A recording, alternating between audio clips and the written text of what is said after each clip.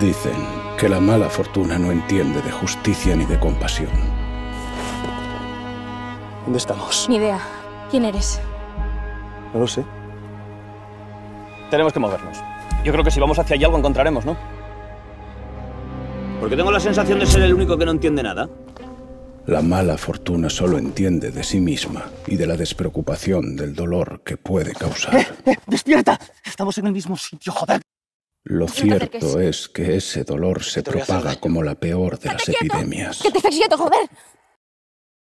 ¿Alguien me puede explicar qué coño pinto aquí? ¿Tú quién eres? No tiene ninguna gracia. ¿Quién coño eres?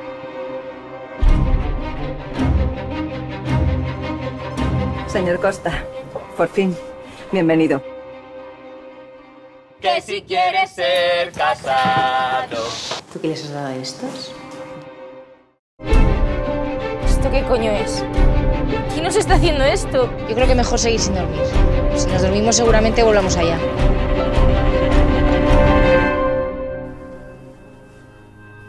Creo que nos estamos equivocando. Ricardo, no puedes hacer como que aquí no pasa nada. Llevo tiempo observándote, viendo cómo escondes tu dolor. Dale con el dolor de cabeza. ¿Qué manía te ha dado con el temita, coño? ¿Manía de qué, joder? ¿Manía de qué? La mala fortuna siempre es el origen de una larga cadena de desgracias que solo generan dolor, dolor y dolor, allá donde llegan. Ricardo, no voy a dar rodeos.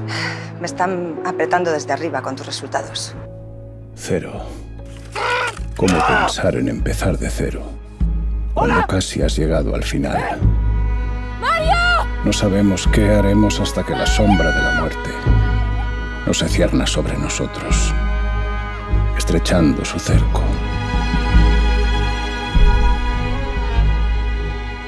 Uno no sabe cómo lo asumirá, ¿Qué estás haciendo, Ricardo? ¿Qué, qué coño estás haciendo, joder? ni siquiera tras haber experimentado la muerte en la carne de tu carne, tras haber sido arrancada tu felicidad de una salvaje dentellada, de un golpe certero, limpio,